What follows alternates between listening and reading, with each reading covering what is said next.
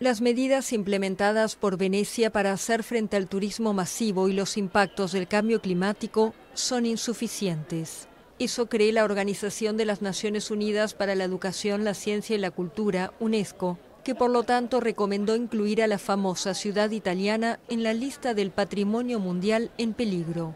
Según el Centro de Patrimonio de la Agencia de la ONU, la subida del nivel del mar y otros fenómenos meteorológicos extremos vinculados al calentamiento global amenazan la integridad del sitio.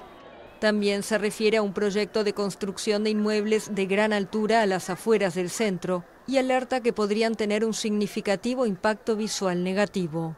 Para que Venecia integre la lista de sitios en peligro, los Estados miembros deberán votar a favor durante una reunión del Comité del Patrimonio Mundial prevista entre el 10 y el 25 de septiembre en Arabia Saudita.